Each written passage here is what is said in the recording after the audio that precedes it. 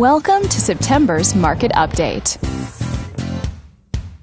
Amy, your trusted real estate agent, thought you'd find this information helpful and is ready to answer any questions about the local market. Let's take a look at real estate activity in your area during the month of August. The number of active listings was down 11% from one year earlier and down 8% from the previous month.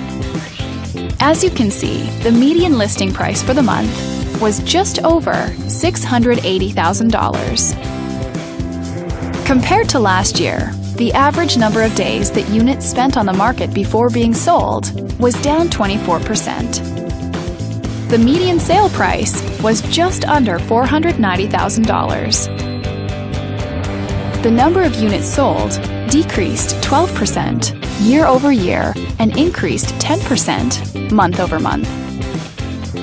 Thanks for watching. We hope you found this video helpful as you gather more information to make smart, informed real estate decisions. If you'd like more information or assistance, please click the button on the screen.